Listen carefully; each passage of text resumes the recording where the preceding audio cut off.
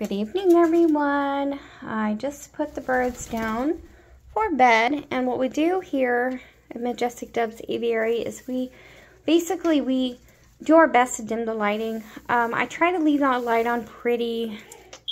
Oh, I don't know. I try to leave the light on pretty, pretty, um, a pretty, pretty long time. Um, and then I just basically turn on the hall light nearby, and I turn their lights off. And for anyone who doesn't know this, a lot of people do, and some people don't when you have a bird, you never want to shut the light up and completely make it black, like just dark. Because what's going to happen is they're going to fly around blindly, and they need that kind of a sunset effect, okay?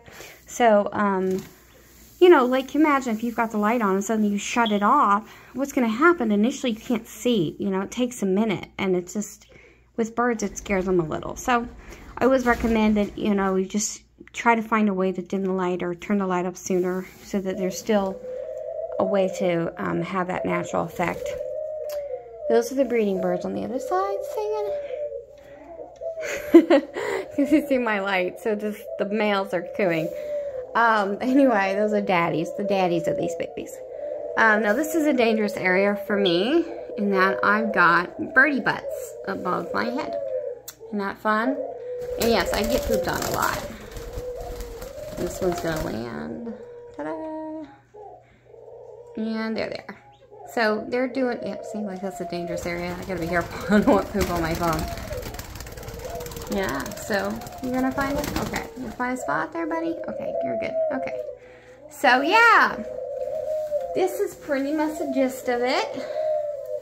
Beautiful little birds.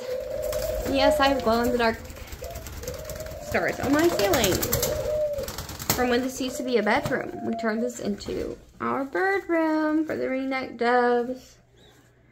So it's worked out really great. And I love the, I love the stars because they're pretty. Yeah, I turned the light up and it's glowing little stars on the ceiling. It's so nice. So anyway, I thought you guys like to see a little bit of the group here. And I'm going to get out of here before I get pooped on too much. All right. Say hi. You're so pretty. Pretty babies. Pretty babies. Yeah. All right. Thanks for listening, guys. And thanks for watching.